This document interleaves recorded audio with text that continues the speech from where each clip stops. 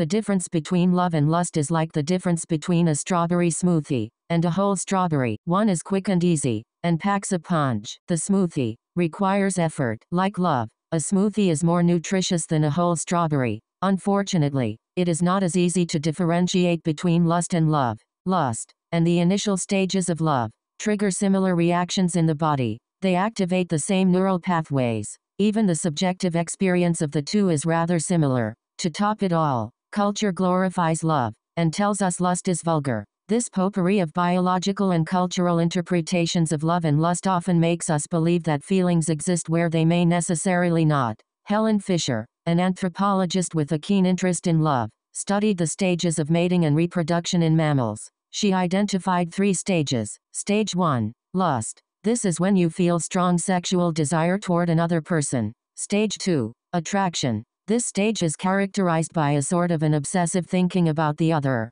and a desire to become emotionally involved. Stage 3. Attachment. In this stage, you focus on maintaining closeness. Fisher identified this stage as being associated with a sense of calm, comfort and emotional union. Picture this. You are taking a walk in a beautiful garden. You spot a lush rose that you desire. You pluck it and bring it home. When you place it in a vase, you start feeling like this one flower is not enough. You want to add more. You add a daisy. Still doesn't feel quite enough. You add a dahlia. You still want more. You add a tuberose. And now, you have a big beautiful bouquet of different kinds of flowers. This bouquet is love. The rose you spotted and desired so deeply was lust. The bouquet is a mix of different feelings. Lust is one of them. But there's also care, respect, friendship that completes love. Is it love or lust? Read the full article on